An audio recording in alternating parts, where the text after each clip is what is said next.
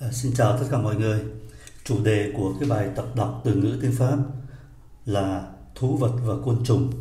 Các thú vật là những con vật lớn, côn trùng nhỏ nhỏ và chúng ta chia ra làm những thú vật và côn trùng chúng ta thấy ở trong nhà.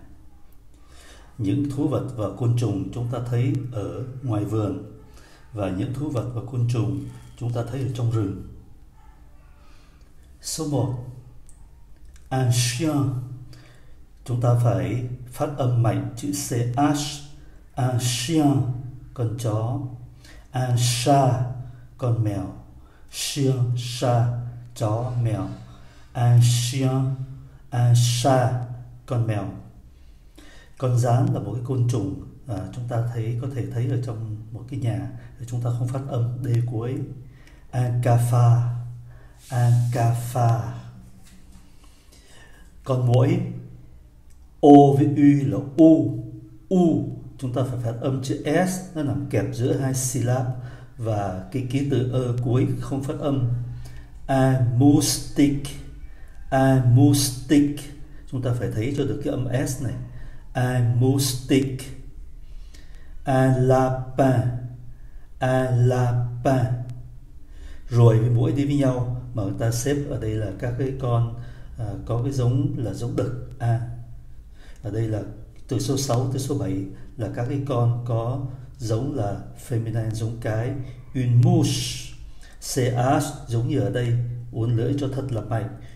O với u là u, ký tự ơ cuối không phát âm. Une mouche une mouche số 7 une souris souris là con chuột nhắt chúng ta đọc lại một số các cái thú vật và côn trùng ở trong nhà un chien, un chat, un cafard, un moustique, un lapin, une mouche, une souris. Không phát âm S cuối. Một số con vật và côn trùng thấy ở ngoài vườn. Un serpent, T cuối không phát âm. Un serpent, e E-N âm mũi. Un serpent. T cuối không phát âm. An ra. Ra là con chuột đồng hay là con chuột cống. Tức là nó to hơn con này. Con này là chuột nhắt, con này là chuột đồng hay là chuột cống. An ra. Số 10 un papillon un papillon và chúng ta tưởng tượng như là hai n là nó có là một cái chữ y ấy. À, tôi đọc chậm un papillon un papillon un papillon tôi đọc nhanh là un papillon un papillon con bướm. Số 11 D cuối không phát âm. A với U là O. Un crapaud Un crapaud là con cóc. Số 12 O U I. Deux L ơ là ui ui cũng như là nuôi chúng ta ăn, là nuôi là mì, là nuôi ấy. une grenouille une grenouille con ếch. Une fourmi ô với là u fourmi une fourmi chúng ta đọc lại từ số 8 ở ngoài vườn. Un serpent un rat un papillon un crapaud une grenouille, une fourmi. Một số con vật và ở đây không có côn trùng, một số con vật chúng ta thấy ở trong rừng, tức là các cái thú hoang dã. Ơ cuối không phát âm, antique, antique. Chúng ta cẩn thận, viết hơi giống như trong tiếng Anh, nhưng mà đọc là tigre, chứ không phải tiger, à, antique un à, tigre con cọp. Viết giống hoàn toàn như tiếng Anh mà đọc khác. Un lion o với n là on un lion ở cuối không phát âm số 16 un lièvre. Un lièvre. Lièvre là con thỏ rừng. Số 17 O với U là U chúng ta phải đọc nối và bắt buộc phải phát âm S cuối. Chúng ta biết là theo nguyên tắc chung thì s cuối không phát âm. Như trong trường hợp này là biệt lệ, phải phát âm anux anux số 18 viết giống tiếng Anh. Nhưng mà chúng ta để ý, ơ có dấu sắc. Ơ có dấu sắc, đọc là e. Dấu sắc là accent aigu. Accent aigu. E le, fond đọc nối un éléphant un éléphant số 19 p cuối không phát âm. O với u là u un loup un loup chó sói. Số 20 viết giống tiếng Anh. Cá sấu, viết giống tiếng Anh, đọc là crocodile. Crocodile. Un crocodile chúng ta đọc lại. Un tigre un lion un lièvre un ours un éléphant un loup un crocodile. Bây giờ chúng ta đọc lại từ đầu bài. À, tôi đọc hai lần một lần rất là chậm rồi một lần nhanh hơn. À, các anh chị có thể đọc theo. Un chien un chat un cafard un moustique un lapin une mouche une souris un serpent un rat un papillon, un crapaud, une renouille, une fourmi, un tigre, un lion, un lièvre, un ours, un éléphant, un loup, un crocodile. Bây un chien, un chat, un cafard, un moustique, un lapin, une mouche, une souris, un serpent, un rat, un papillon, un crapaud, une grenouille, une fourmi, un tigre, un lion, une lièvre, un ours, un éléphant, un loup, un crocodile. Nhân dịp này chúng ta ôn lại tên của những con thú mà. La viande de bœuf, la viande de veau, la viande de porc, la viande d'agneau, la viande de lapin, la viande de buffle, la viande de cheval, la viande de grenouille, la viande de canard, la viande de poulet.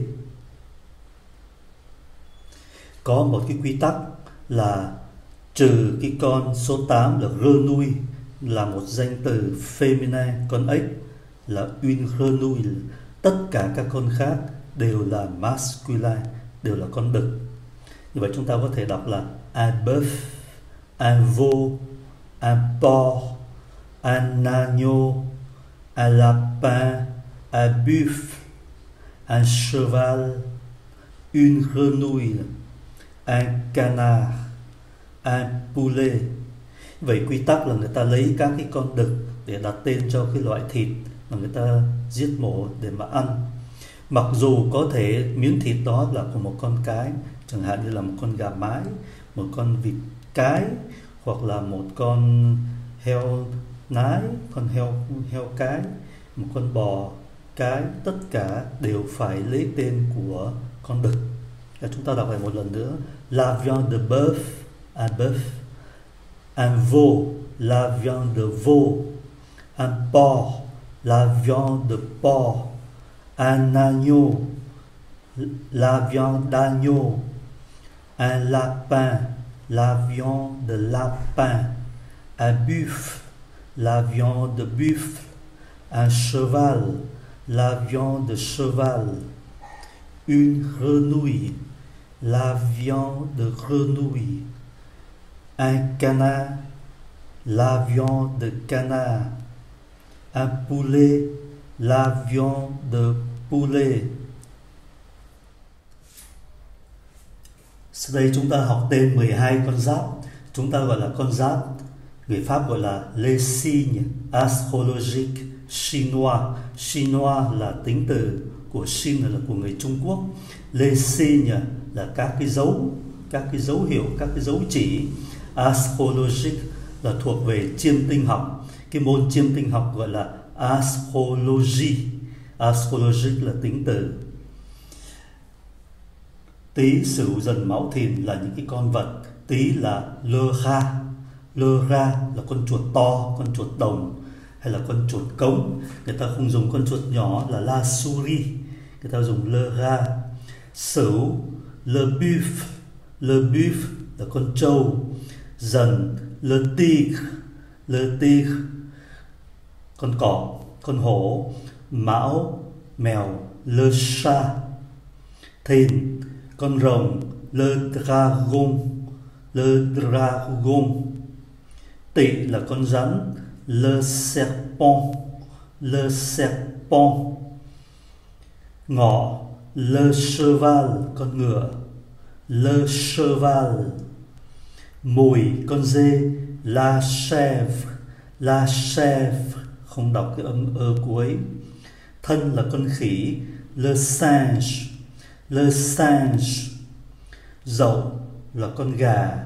Le coq le coq tuất là con chó.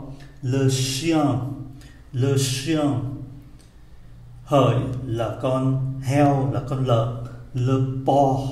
Le po. Chúng ta để ý, ở trong này tất cả đều 12 con giáp đều là giống masculine, giống được hết, trừ con dê. La chèvre trừ con dê. Đó là điều thứ nhất chúng ta cần để ý điều thứ hai chúng ta cần để ý là dấu hiệu về chiêm tinh của người Trung Quốc. À, chúng ta có hai điều lưu ý ở trong phần này. Trước hết là tất cả 12 con giáp này trừ con dê la chèvre đều là giống được lơ lơ ra đều là giống được hết. Đó là điều thứ nhất. Điều thứ hai chúng ta để ý dấu chiêm tinh của người Trung Quốc Les signes astrologique chinois con khỉ là le singe. S I N G E S I G N E S I N G E chúng ta thấy nó đảo ngược lại.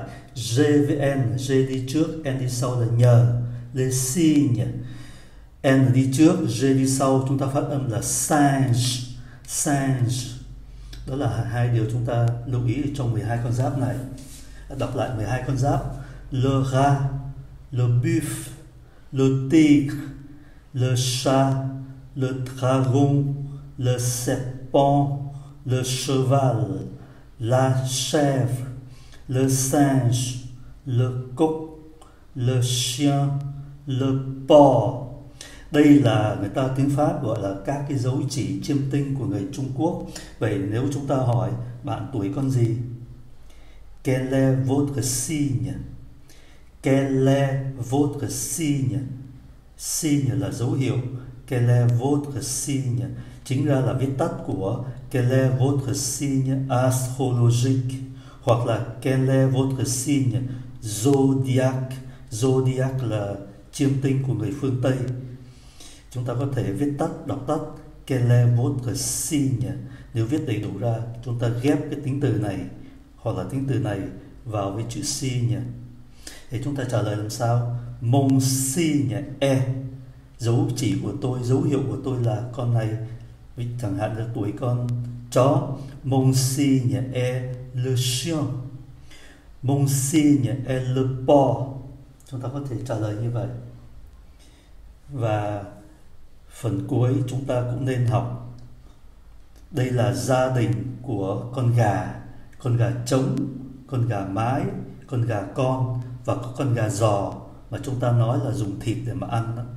con gà trống, ăn cốc. Con gà mái une poule, đương nhiên là phải feminine un coq masculin. Con gà mái une poule. Con gà con un poussin. Từ cái trứng nó nở ra un poussin poussin. Bây giờ con này lớn lên, trở thành con này và người ta bắt con này, người ta làm thịt. Un poulet gà giò. Ăn poulet gà giò. Nhưng mà như chúng ta đã nói có thể chúng ta ăn cái con lớn hơn là con này hoặc là con này. Người ta vẫn nói là con này. Hôm nay nhà tôi ăn thịt gà. Là chúng ta nói ăn la viande de poulet. Chúng ta học thêm con gà trống thì nó gáy. Động từ gáy là chanter. Chanter người thì là hát. Uh, chim thì là hót con gà thì nó gáy. Un coq chante động từ chanter là hát. Poule là gà mái. À, người ta nói cái ổ gà ngoài đường á à, un nid de poule nid de poule bởi vì cái ổ này chỉ dành cho con gà mái. Une nid de poule